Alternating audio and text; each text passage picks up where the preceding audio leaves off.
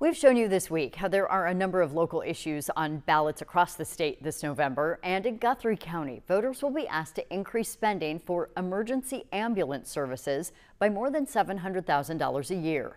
WHO 13's Roger Riley has the details. Well, ambulance services here in Panora provide coverage to Guthrie Center and here in Panora. Now, this proposal calls for an ambulance to be based in Guthrie Center. It's really about not enough funding to be able to support the three ambulance services that we have in Guthrie County. So we know we need more ambulances and we need more staff, but in order to do that, we need more funding. And that's really what this is about. The majority of the funding will most likely go to support um, more staffing. So we need more um, opportunities for EM, EMTs, advanced EMTs, and paramedic level um, EMS workers. The town of Guthrie Center has not had an ambulance base here for a number of years. It does have a hospital.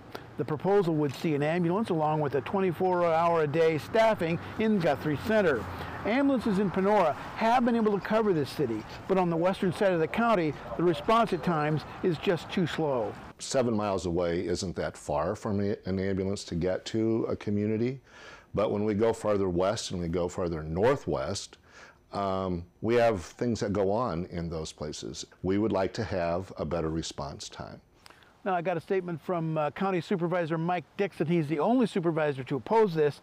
He said 15 years is too much money for too long, too much money with too little oversight to be handed over without a solid plan in place as to how these funds will be used. In his opinion, it's the equivalent of handing over a blank check. In Panora, Roger Riley, WHO 13 News. A public meeting on the vote will take place October 29th at the Guthrie County Courthouse.